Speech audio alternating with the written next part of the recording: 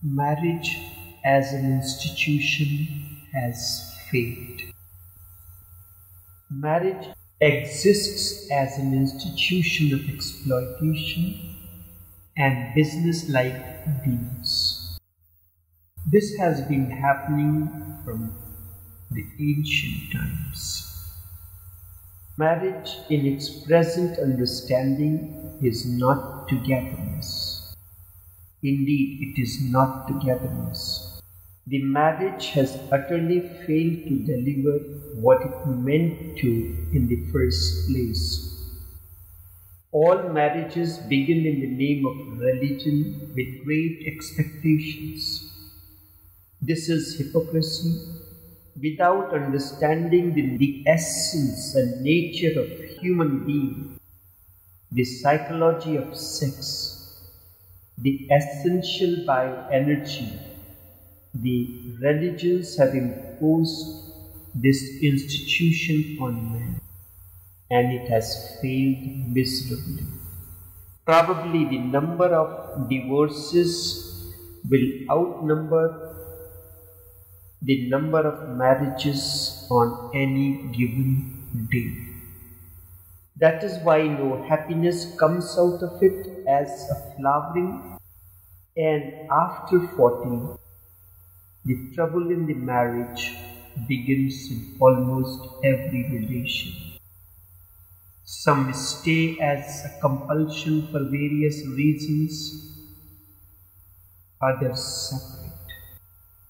That is why no happiness comes out of it as a flowering, it cannot.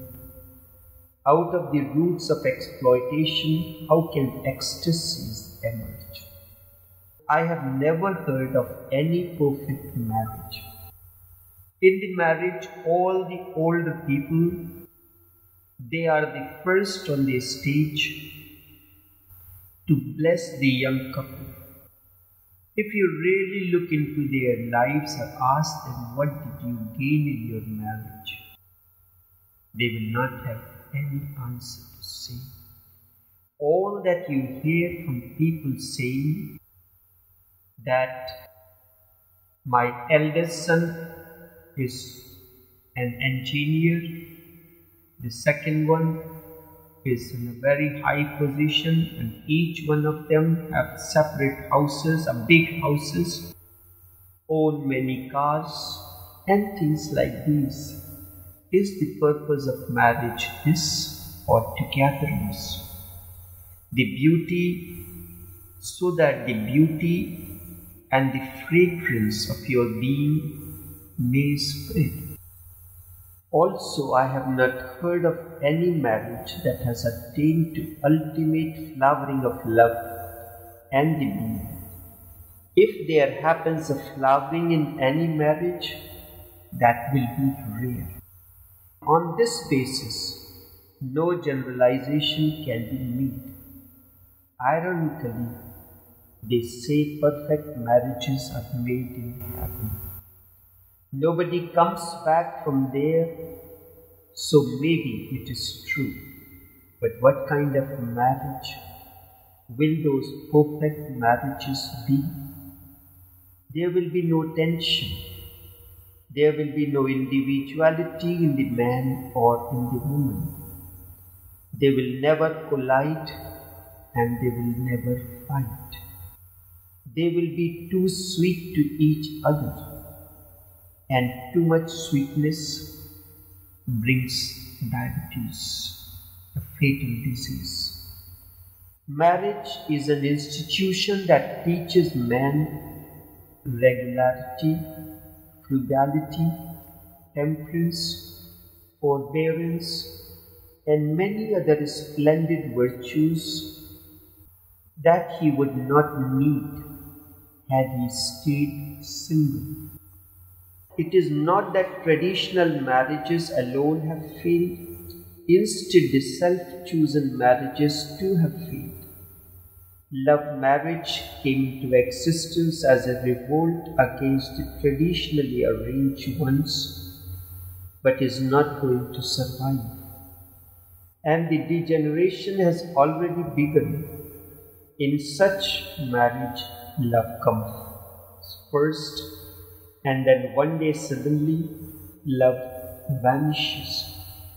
Apparently, no one knows the art of freeing love out of the quagmire of sex. Thinking about sex talking about sex or bringing a deep mystical understanding is still considered a taboo. And even those who have attempted are the ones totally engrossed in the slush and the quicksand of sex.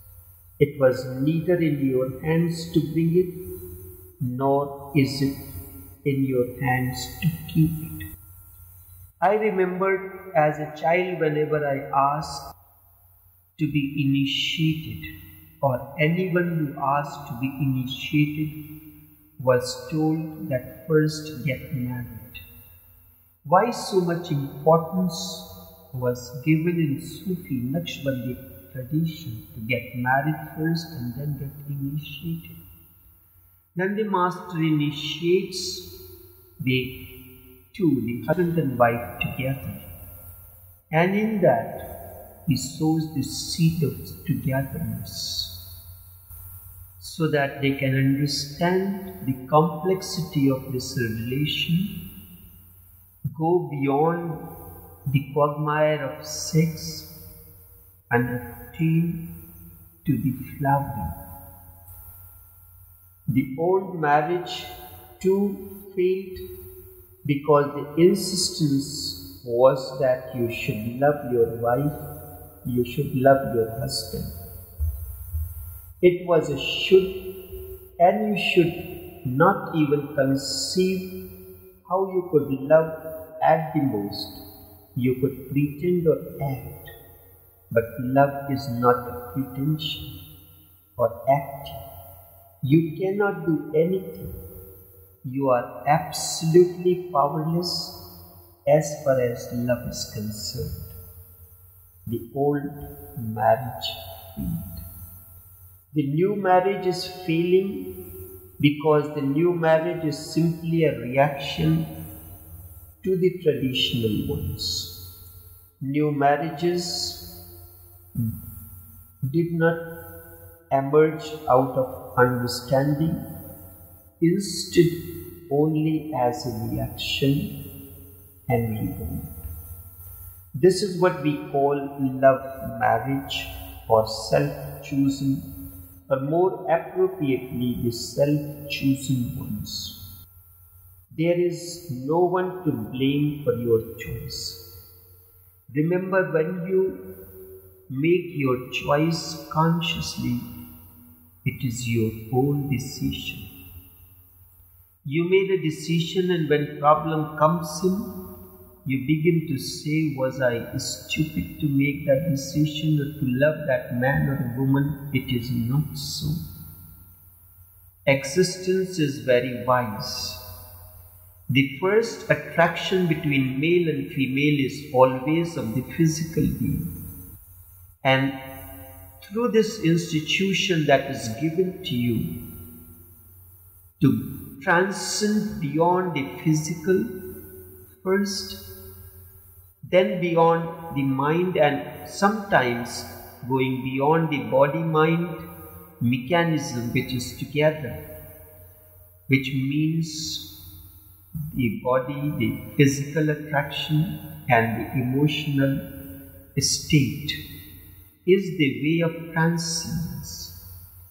And unless and until you transcend beyond the body and the mind mechanism, that is the physical aspects, the emotional, the psychological, and all that relates to it, you cannot enter the inner precincts.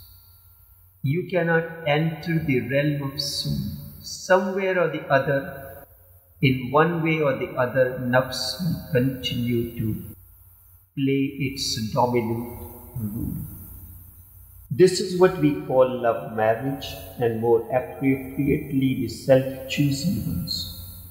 There is no one to blame for your choice, the one of the most important or the crux of the matter is to look into your relation on a day-to-day basis. Who forced you to get married to this man or the woman in the first place? Was your own choice. It is when two people are meeting with one another, it is because they have some unfinished work to do together. That's why they are coming back together. If you have finished your last meal, you can go and wash your pot. But we never do anything in its totality. We are eating food but thinking of something else. This is how people eat food. When they go to the restaurant, the platter is in front of them, maybe a morsel in the mouth, next one is in the hands, and eyes are fixed on what is on the platter, and they continue to talk about the other restaurant that they, that they visited last time and how good the food was then and how we all enjoyed the food. But you forget the present moment, the food that is on the platter, that is the only thing that can satiate you now. This is how we enter into everything. Whether it is a male female relation or something, that time it has to be thought that I made the decision to come to the restaurant. I decided to get married to this person. Maybe if the problems are coming, I have to learn to overcome and do not consider these problems as stumbling blocks. Consider these as milestones to climb over these to reach to the next stage. You do not know what is outside, beyond, or the other side of that stony rock that you have come across along the way. It is for the heart to suggest our problems, and it is awareness to solve them. And a wise man is one who uses these problems on a day to day basis that seem to impede our way as milestones to reach to another destination. And the day you attain totality into that, you will no more be interested in any male female relation. You are satiated. It's not that when you drink water, the balance, the water balance within the body is maintained and you are finished with the water. But after some time, the same balance is disturbed again, you feel thirstier, you drink water again.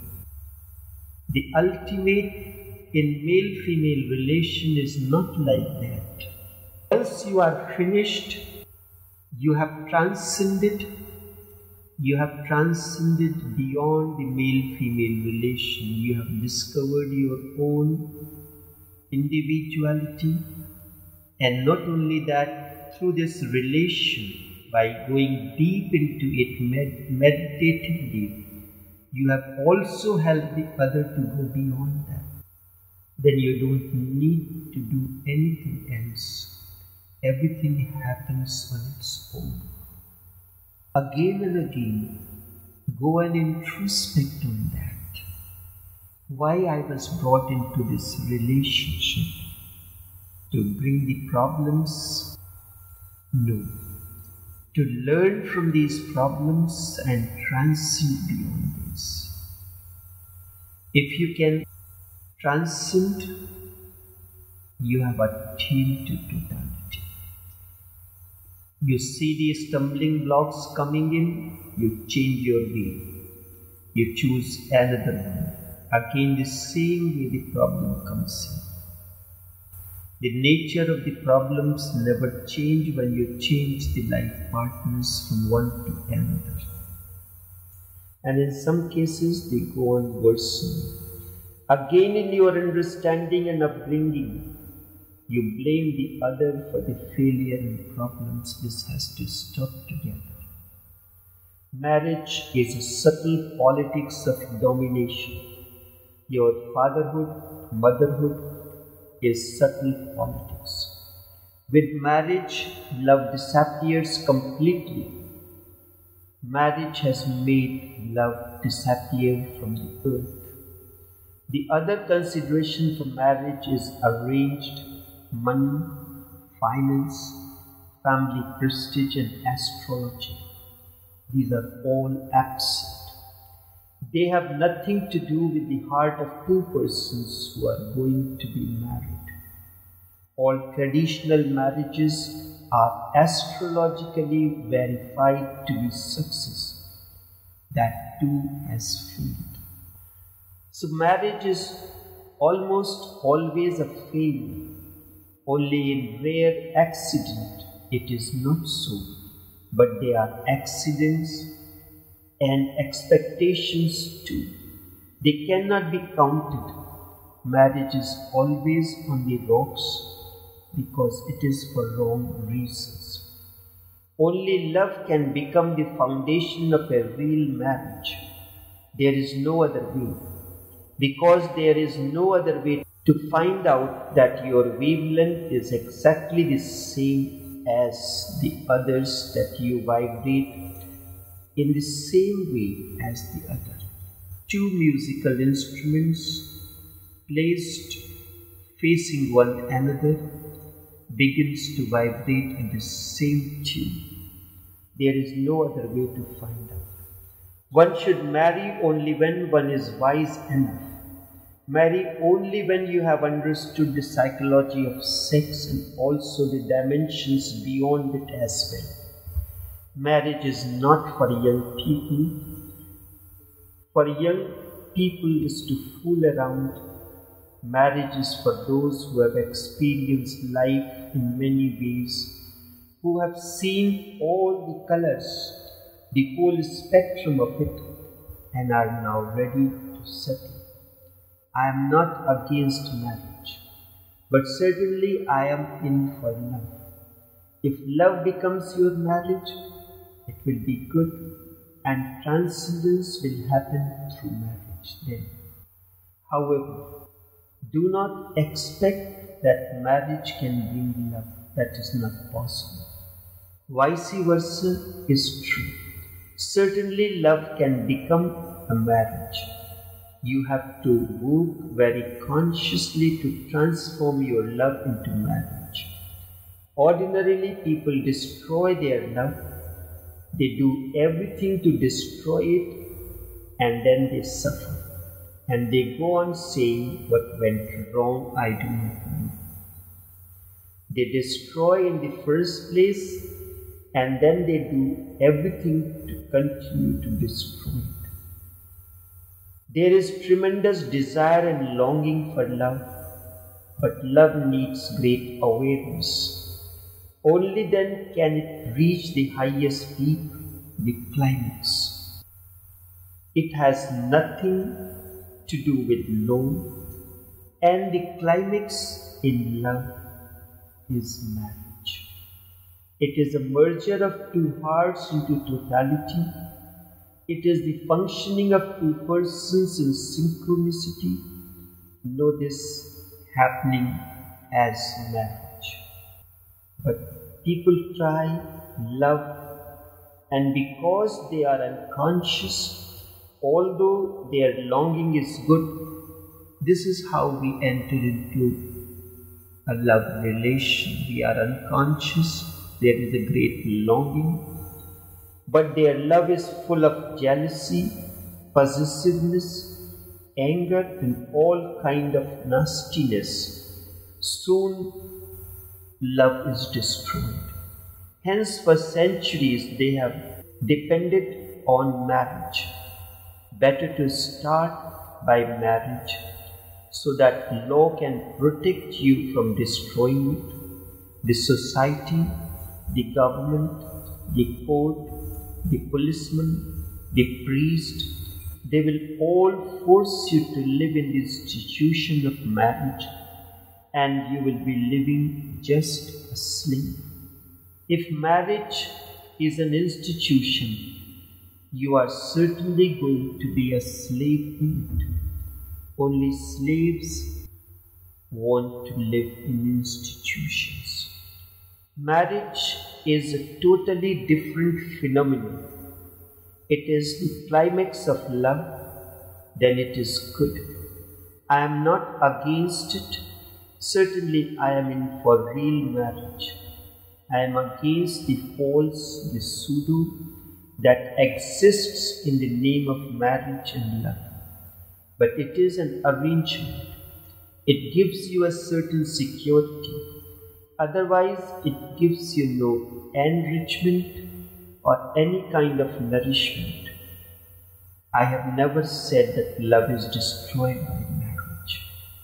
How can marriage destroy love?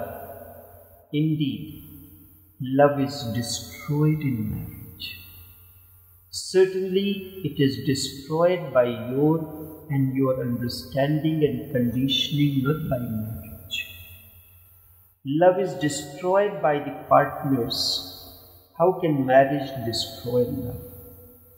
It is you who destroy it because you do not know what love is. You simply pretend to know.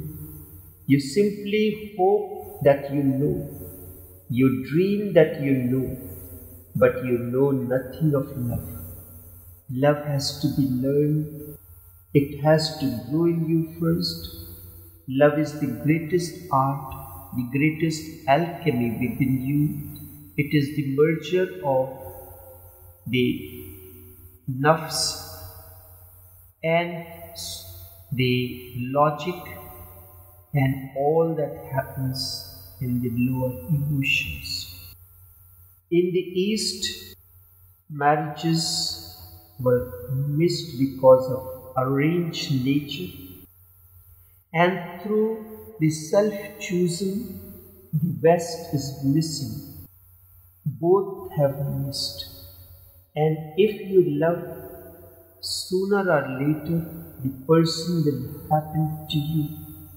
You have discovered the reservoir of love within you. And once you have, what does flower do? It explores its potentiality without being bothered about anything else. It brings its beauty and the fragrance by blossoming onto the surface, and then its beauty and the fragrance fills the garden. And if you love, if you have understood its nature, sooner or later person will happen to you because a loving heart sooner or later comes to a loving heart, it always happens. You will find the right person, but if you are jealous, you will not find. If you are simply for sex, you will not find.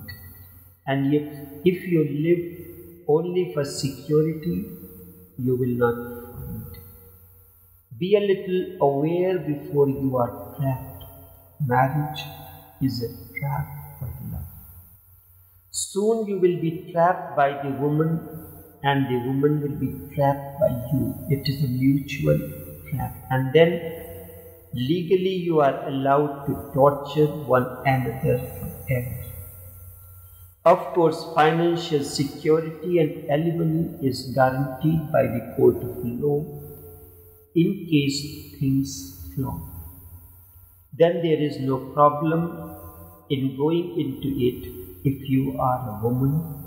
For this reason, women go in for older yet rich companions so that financial future is secured. Sex can be fulfilled later as well first be financially secured. Love and love as deeply as possible let love be your meditation. And if love itself becomes the marriage, that is another thing. Although altogether different. If love itself becomes such intimacy that it is unbreakable, that is another thing, there is no legal sanction. Legal sanctions are needed only because you are afraid. You know that your love is not going to last for long. You need legal support from it. You know perfectly well that you can escape from you know perfectly well that you can escape or the woman can escape. Hence, you need the support of the law. But it is ugly. To need a policeman to keep you together, that is what marriage is the future. Out of 100 marriages, 99 marriages are just licensed prostitution. They are not marriages in the sense of how a marriage should be. A marriage is only a real marriage when it grows out of love. Legal, illegal does not matter. The real thing that matters is love. If love exists between two persons, it is blessed. If love does not exist between two persons, then all your laws put together cannot breach them. Then they exist separate, then they exist apart, then they exist in conflict, always in war, and they create all kinds of trouble for each other. They are nasty to each other, nagging to one another, yet possessive of each other, violent, oppressive, dominating, and dictatorial. You would have noticed one fact, probably if you may not have. After the age of 40, near about, every man's best friend is a man, and every woman's best friend is a woman who is having similar problem in his or her marriage relation. Because with the people of similar problems, we find it convenient to relate. But you cannot be friendly as you were in your youth with the other. It in a better world with a better humanity things will be different. And the better humanity you can create by understanding the reality how the inner mechanism works, the male female energy works because your two sides of the brain, the left and the right, they are never in harmony if that begins to work in harmony with one another, out of that merger emerges a faculty that is called Sacred Heart by Jesus. A faculty that develops which is called Kalb, the heart, not the biological heart. When the lower emotions and the awareness merge together, kalb is born. Otherwise, we remain in the quagmire of nafs, as Sufis call it, lower emotions, where, and we never get out of these. Love affairs have been failing miserably, and parents feel very happy. People inquire Look in the West, love affairs have been failing. Then why are you against marriage? They ask. Love affairs are failing because first the marriage was arranged by the astrologer, then it was arranged by the parents, and now it is being arranged by biology or the instincts, the self choosing. You suddenly feel that you like a woman but you never know how long this is going to last, and you are not even aware why you like her. You like her because her nose is very good, her eyes are like duck, but soon, sooner or later, this physical beauty will vanish. Maybe it is just her, her hairstyle. Now, you are, are you going to get married because of the hair hairstyle? Love has captured you in the moments of your instincts of unconsciousness, but this is how it happens. It is your awareness that can transcend you beyond this unawareness. Was I wrong in the first place to choose this person? No, you were not wrong. Your inner needs has brought you in the company of this person.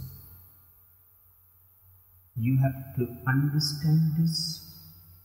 And as you begin to understand this, automatically you start transcending. You realize one day that your need for the man or the woman has finished. You can get married, but tomorrow morning, when you see her hair dishevelled, you will be at a loss. Is this the same woman I fell in love because of her hairstyle? How long can you be interested in hairstyle? Soon you will get fed up. The same hairstyle again and again, whole day, 24 hours a day. People are falling in love because a certain man has a certain type of nose. People are falling in love with fragments, not with totality. These are fragments. Your being. It is said the beauty lies in the body. Beyond that, the beauty lies in the eyes. Beauty lies in how you look at the things, how you interact into the outer world of objects and beings. How you simple things, how you interact with the clothes that adorn you throughout the day, give you a certain kind of splendor, a protection, a demeanor, and an elegance. When you come home, how violently you treat these. Because if you your spouse is stronger than you and you tries to raise your hand, he or she may hold your hand. So you take out your violence on your clothes. A man comes upset at home, returns home. He could not say anything when he got upset with the boss or his superior. It's a matter of financial security is involved.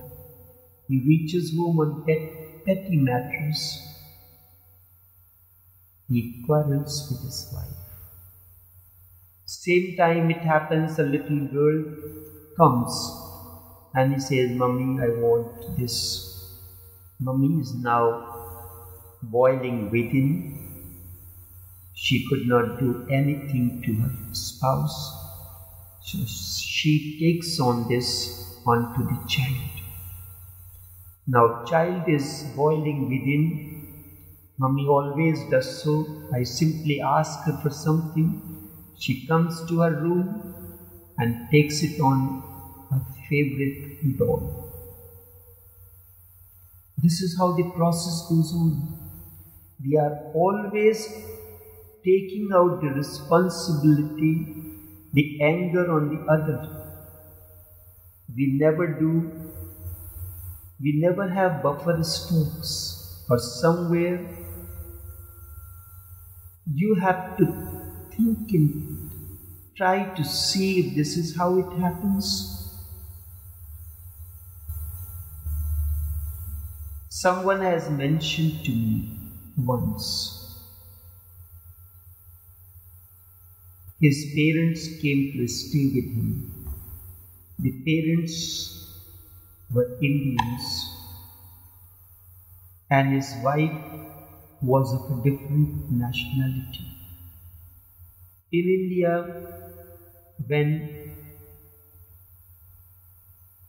the children are returning from home or the husband is returning from home, the wife or the mother keeps everything ready. She have the vegetables, the meals ready. The flour is needed. As soon as you enter, she says, Go and freshen up yourself. I am preparing fresh flat bread for you. Come and have the meals. In the West, it is not so. So, in his house, the husband and wife both were busy in the business. When they returned, the wife says, This woman is sitting down watching the television and she does not even bother that I am now returning from the work, I am hungry. In her culture, the food is prepared in the morning and the same food you take it out from the pots, eat throughout the day. Or maybe sometimes the evening meals are prepared beforehand. Whether the food is hot or cold, it does not matter. So one day he said that his little daughter came, and because of this conflict, the father, he, the person was in a dilemma. He cannot leave his father, the parents, and wife as well. So there was used to be pretty often quarrels. So one day it happened he spanked his young daughter. It was a little child. Because he could not take out the anger on the wife or the parents. One then he mentioned it to me. I told him, let this incident be a bridge to you. This is how you learned in traditions. This is what was your heritage that you was treated the same way and you are treating your children the same way. Let this be a beacon light. What has happened to you as a young child you was given spanking for no reason of yours because of the parents quarreling with one another and the children has to get this spanking. Let this be your beacon light and make a promise to yourself that you will not do this again, whatever be the circumstance and situation. Luckily or unluckily, he was connected with me, the madman, always looks into the things in a different way. Sufis, spiritual persons, are always considered as mad because their way of insight is totally different than that of others. He followed that, he never repeated in his life again now that daughter is a grown up person, I said one day, when you are teaching your children your way of living, the meditative way of living, explain the whole incident to her. This is your legacy that you have learned in the living life meditatively you have learned. You have used that incident as a beacon light and opened a whole new avenue. Explain that to your daughter that this is what had happened to that. So that she can understand that and maybe use that thing, that episode to continue in her life in new ways and means. This is what we can learn from every circumstance or situation. I have been taught to live in this way, but no, there has to be a break somewhere from the traditions. A wise man never lives by traditions, he lives by understanding, he lives with awareness. This is the way of Buddhas. Nobody is bothered about the totality of the person, and it is a vast thing. The nose does not count much. After two days, you will not look at the nose at all, or the hair at all, or the color or the shape of it at all or the proportion of the body, all these things are very minor and short lived. The real thing is the total functioning of the person, and that can be experienced only when you live together meditatively, and that is the way you can transcend beyond the quicksand and the quagmire of sex, which is the beginning of marriage, and love is the ultimate flowering of